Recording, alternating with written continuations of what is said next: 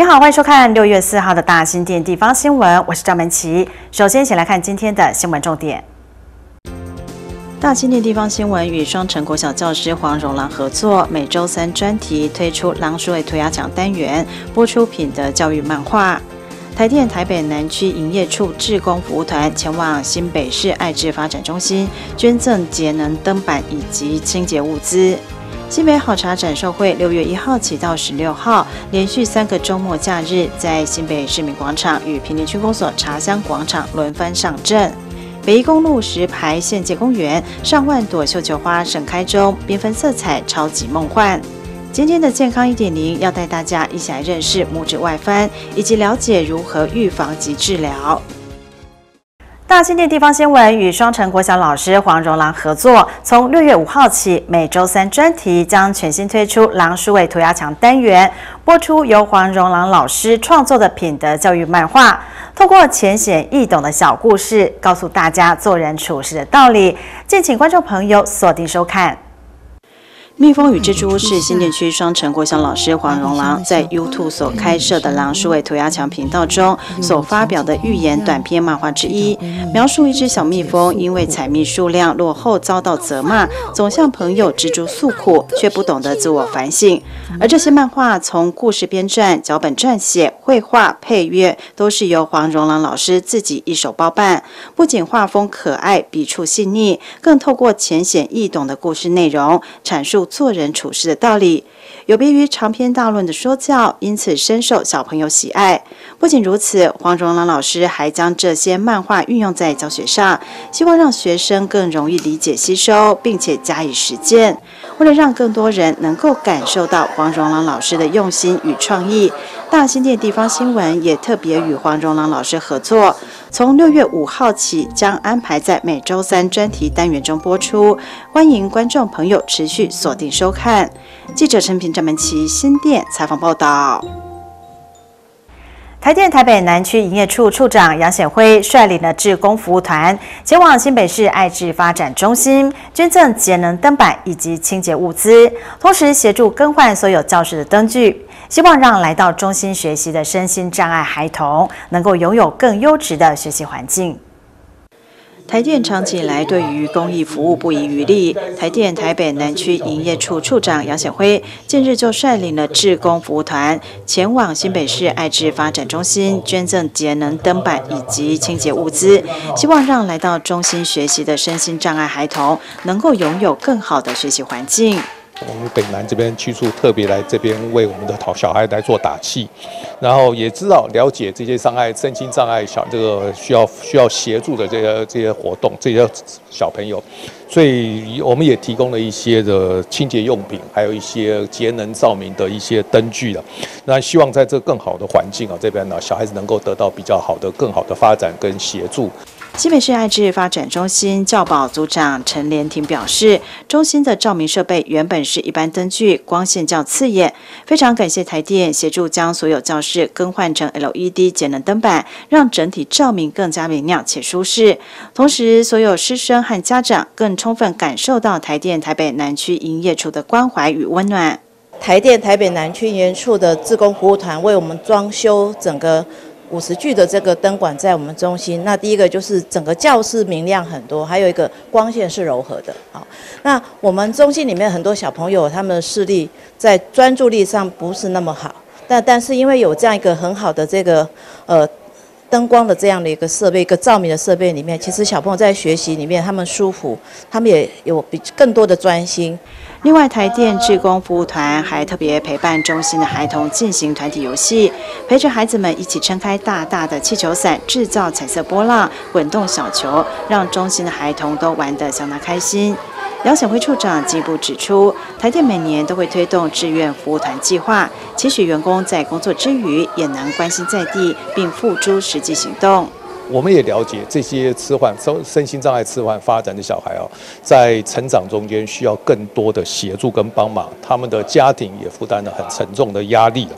那这些如果像这种的话，社会大众能够再多更进一步的心的话，能够帮助这些小朋友，我们台电北南区就很乐意尽这方面的义务了。新北市爱智发展中心主要针对六岁以下身心障碍或发展迟缓的孩子开办早疗课程。台电台北南区营业处也期盼，透过这次的公益活动，号召更多企业团体一同加入关怀弱势行列，让爱无限延伸。记者陈平、张文琪新北市采访报道。新北好茶展售会六月一号起到十六号，连续三个周末假日连番上阵。六月八号、九号、十五号、十六号，在平林区公所前广场，除了有市集、茶香走读、DIY 手作、SUP 体验活动，另外还有千人封茶，每天两百个名额。五月二十九号起开放网络报名。在醒狮团热闹助阵下，新北市农业局与平林区农会、平林区公所共同举办记者会，宣布新北市春季文山包种茶火热上市，邀请民众六月一号、二号到新北市民广场参加春饮市集；六月八号、九号、十五号、十六号到平林区公所前茶香广场参加展售会，还有各式各样丰富又精彩的活动。在呃周区长的努力之下。特别呃，不止结合水艺活动，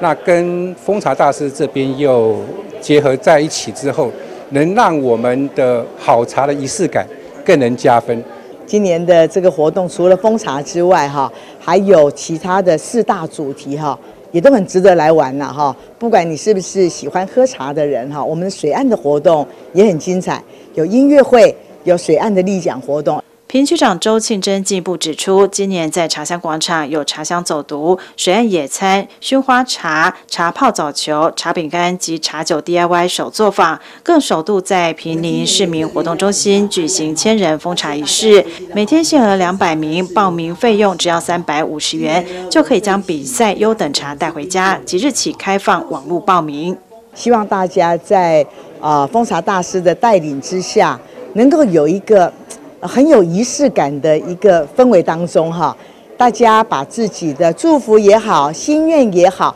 梦想也好，通通都封在茶叶里头。民众如果想要进一步了解新北好茶展售会各项活动内容以及报名资讯，欢迎上新北好茶或是平林区公所官网查询。记者陈平、张门琪，新北市采访报道。接下来的新闻要介绍给大家一个超夯的打卡热点，那就是位在北宜公路新北平林区与宜兰交界处的石牌县界公园。这里的绣球花目前正在盛开当中，上万朵的花海缤纷又梦幻，因此吸引相当多民众特地造访。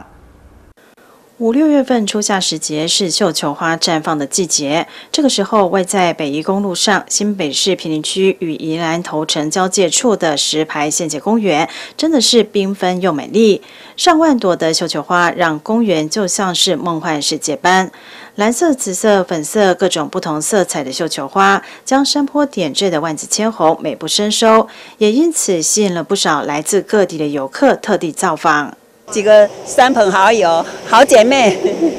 怎么知道这个点呢？诶，我们前两年有来过一次，哎，对。觉得这边的绣球花开的如何？哎，不错啊，哎呀，山上也有，上面就也就也蛮宽的，范围蛮宽的，不错，很漂亮。嗯。怎么知道有这个地方？就看朋友说网络看到的。是从哪边过来？我现在是从宜兰过来的。拿起手机，一张张照片拍不停，是赏花民众在绣球花海中的标准动作。大家一边拍照，更不时发出赞叹声：“很漂亮，非常漂亮。”然后呃，有满山满野都是，然后有很多地方都有。好，然后看着一呃，还有很漂亮啊，这有山有水啊，很漂亮。石牌县界公园每到五六月份绣球花开时，有着犹如仙境般的美景，所以尽管是平日上班时间，游客依旧是络绎不绝。近年来，这里也成为了拍照打卡热点，不想错过的民众要把握时间哦。记者陈平、张门琪平林采访报道。广告后继续来看健康一点零，让我们先休息一下，马上回来。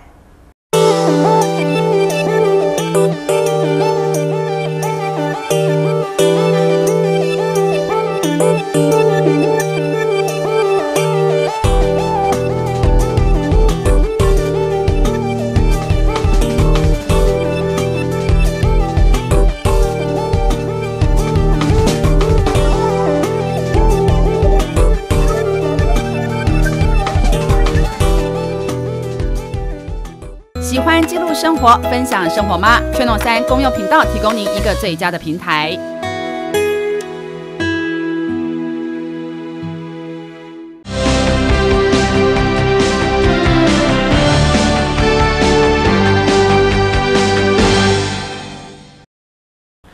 拇指外翻是常见的问题，更容易发生在穿高跟鞋的女性朋友身上。严重的话会导致行走时剧烈疼痛。今天的健康一点零就要带大家来了解什么是拇指外翻，还有要如何预防及治疗。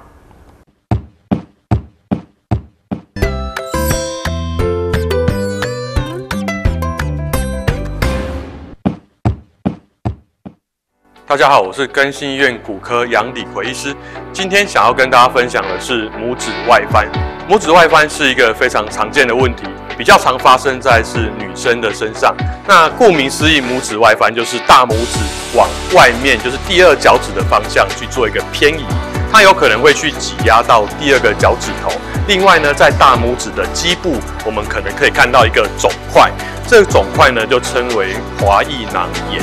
那我们在走路的时候呢，就可能会产生这个大拇指关节的疼痛，也有可能比较严重的时候呢，膝关节、髋关节、脊椎都有可能会有疼痛的状况。